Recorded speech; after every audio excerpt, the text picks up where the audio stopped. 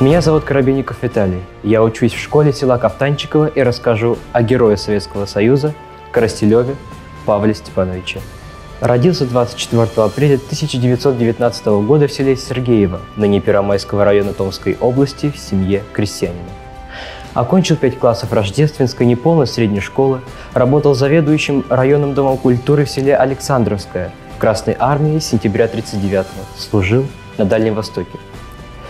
В действующей армии с июня 1941 года воевал на Западном и Первом Белорусском фронтах, окончил курсы политсостава и Соликамское танковое училище.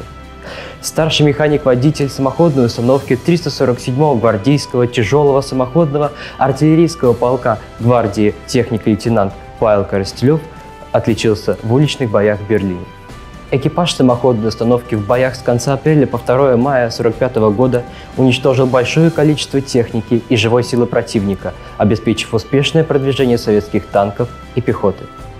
В ходе боев под огнем противника Коростелев лично произвел ремонт самоходки и продолжил сражение.